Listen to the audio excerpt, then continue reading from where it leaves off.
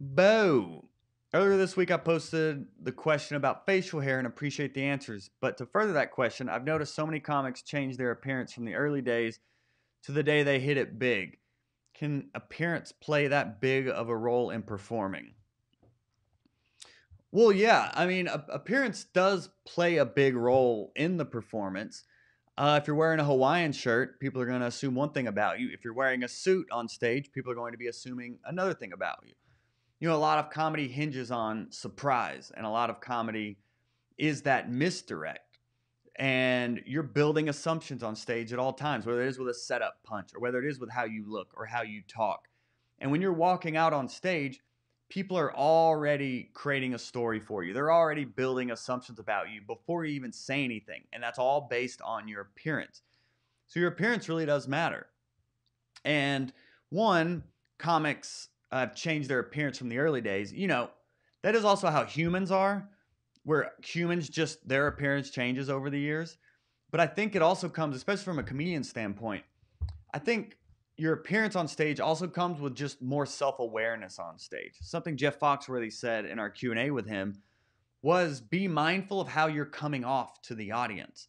And that can and he said that. He's like it could be your shirt, it could be your facial hair, it could be a number of things that could be distracting from your material. That if you did say it in a collared shirt, it may be funnier than if you said it in a tank top type deal. So, yeah, your appearance does play a part in your set. And it, it's something to be mindful of. But, you know, I mean, in my early days, I had a mustache and I was wearing Goodwill clothes and t shirts. I used to wear no cap, Goodwill dress pants that were like parachute pants. I wore some Rockports that were like yellow and um, Goodwill collared shirts. Uh, this is Eddie Bauer now. All right, we hit the big time. We're on to the redneck Ralph Lauren now. Um, Goodwill collared shirts or t-shirts, or I, I had like a Michael Jordan shirt. I mean, I was just all over the place. But I was just focused on stage time and honing that craft and not worried about the appearance yet. I just wanted to just get funny first. I was just trying to figure out how to create a setup punch.